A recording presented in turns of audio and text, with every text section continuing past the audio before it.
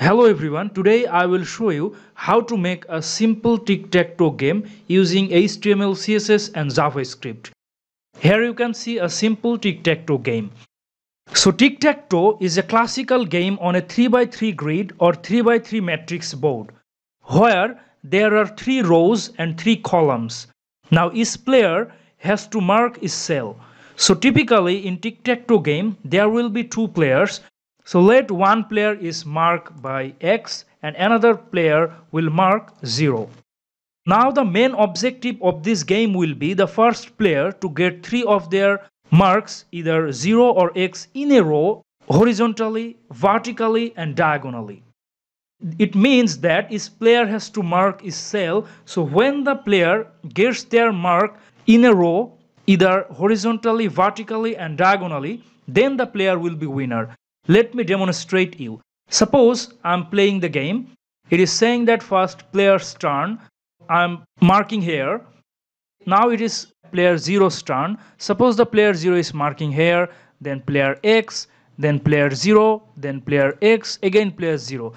So here player 0 is the winner because player 0 has marks 3 0 in a row vertically it means in a column so player 0 is the winner so this is the simple tic-tac-toe game and rule is very simple.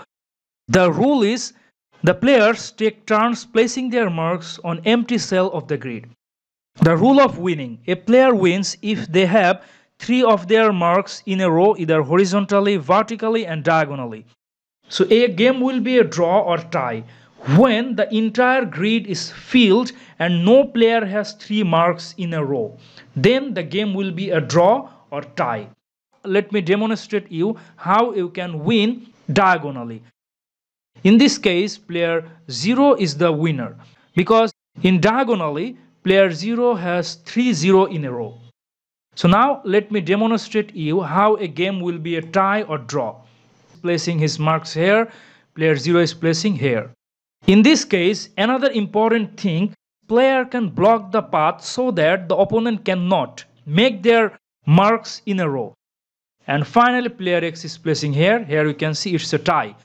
Because in this case there is no empty cell and the entire grid is filled and no player has three marks in a row either horizontally vertically and diagonally. So this is a tie or draw game.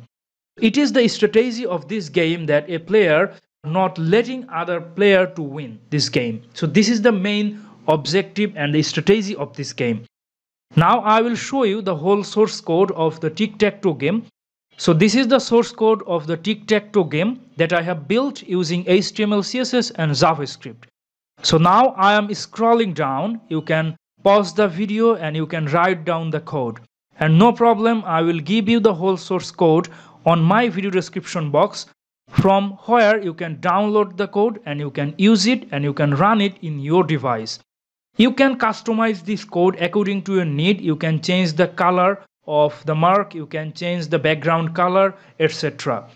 So dear viewers, this was the simple tic-tac-toe game that I have built using HTML, CSS and JavaScript.